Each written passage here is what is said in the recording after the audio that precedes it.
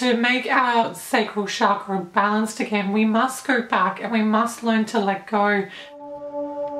Hey beautiful people, welcome back to Road to Venus. Before we begin, this is a part series to the chakra series. So if you haven't checked out the rest of the videos, please check them out. They're in the description below. This is video three of an eight series, so make sure you check them all out. Our sacral chakra is located just below our navel and above our root or base chakra. As we spoke about in our last video, our base chakra is all about the physical world and the physical things in our world and is in the physical aspects of how we perceive. The sacral chakra is one of the most strongest chakras we have and it's all about emotions and connections, helping us understand how to accept, control, and monitor our emotions. The sacral chakra is linked to the color orange.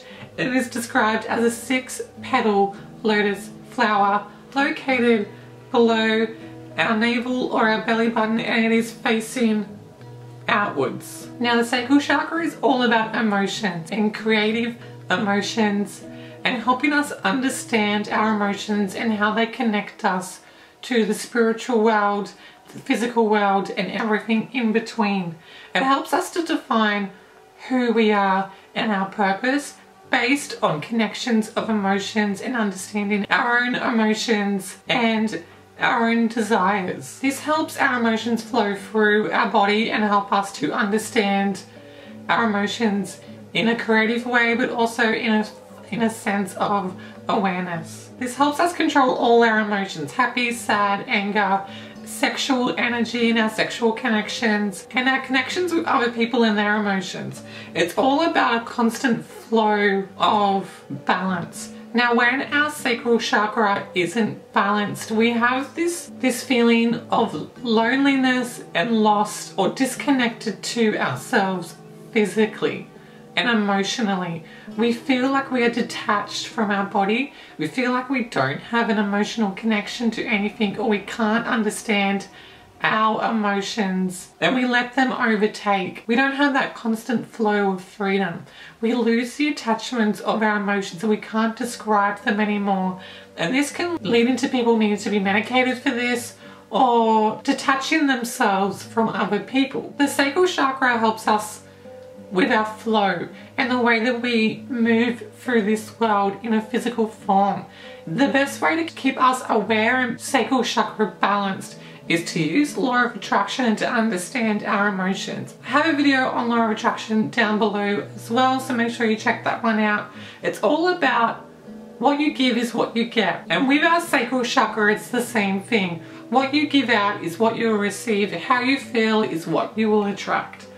It's learning to flow with our emotions and it's learning and it teaches us and it keeps us aware of knowing that what we put out we will rec receive in return. The sacral chakra is all about giving and receiving flow and learning to let go. The best ways to keep our, our sacral chakra balanced or if we feel like our sacral chakra is unbalanced and we wish to get it balanced again, my free tips and the three easiest ways to keep your chakra balanced is number one is to try and wear some orange and keep orange around you to keep you aware and to remind you daily to be aware and to accept the responsibilities to remind yourself to attract what you desire and to give what you desire to learn to receive and give the second tip is to let go. I've also done a video on learning to let go and when to let go. This, the sacral chakra is all about our emotions. And if we're storing a negative emotion, we're feeding that negative emotion to continue to grow and to expand and we are attracting more negative emotions around us. So if our sacral chakra is unbalanced and we are not doing anything about it, we're actually attracting more and making the situation harder for us to heal, which is causing the imbalance to worsen.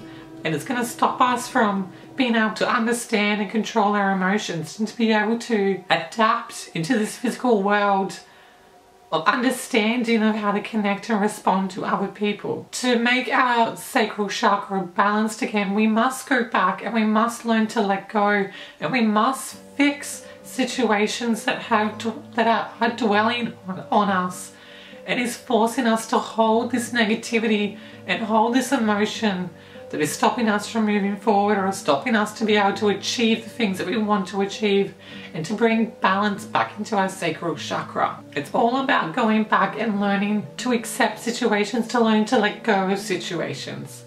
So definitely check out my video on learning to let go, how to bring that balance into your sacral chakra. And the third and the most easiest one, which everybody does daily, and that is surround yourself and submerge yourself in water. Now our sacral chakra, just like our emotions, are linked to the element water. And it's all about constant flow and unity and purity. The best way to reactivate and to rebalance our sacral chakra is being aware in our present time and submerging us in water and letting that water release the negativity away from you and let it rejuvenate your sacral chakra and bring it back into harmony and balance. So I hope this video has given you an understanding on the sacral chakra. If you love this video, please give it a thumbs up. Also, if you're new here, hey, I'm Peter. Welcome to Road to Venus. Hit that subscribe button. And like always, guys, any questions or comments, please list them below. And please make sure you check out the rest of this series.